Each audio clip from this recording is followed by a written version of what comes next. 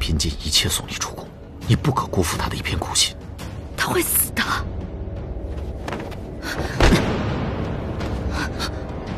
小慈，原谅我。老奴是想替陛下除掉姜慈。为何？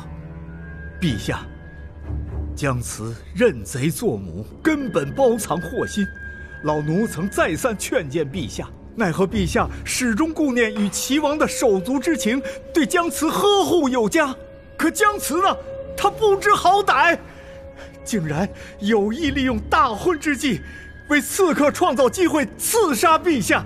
老奴岂能容他？我与师父根本不愿回庆康，是陛下令我二人留下。进宫之后，我也从未见过师父，更不想嫁人，谈何要制造刺杀机会？哼，一贯巧舌如簧，能言善辩，当然不会承认了。陛下，家母闯下滔天大祸，罪臣本无言以对，但臣了解永安郡主，臣愿用性命担保，郡主绝不会做出如此之事。朕知道，将陶子竹先行收押，等候发落。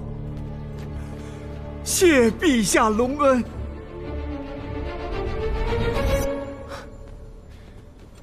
幸而父皇及时醒来，方能力挽狂澜。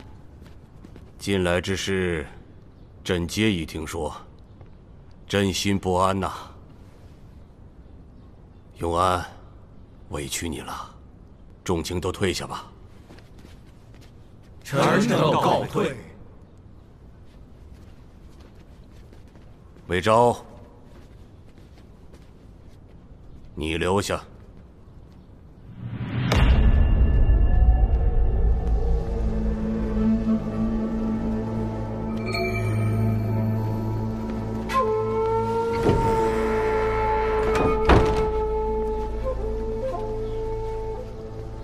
郡主，奴婢送你回玉纯轩。怎么回事？少主吩咐我们，不惜一切代价也要将郡主送出宫。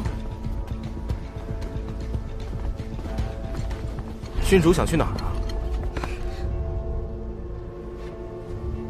本郡主要出去买花，你让开。你倒是跟你那夫君一样，惯会装模作样。笑话，我哪来的夫君？魏昭身份已暴露，今日便是他的死期。把他给我抓起来！是是。走，我追！是是。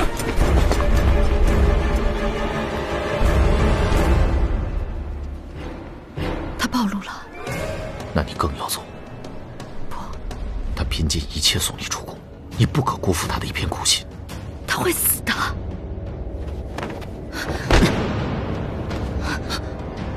小慈，原谅我。与其将你困于这方寸之地，不如放你海阔天空。三郎如此，我亦如此。我去引开追兵，速带他去方武门与你们的人会合。是，快。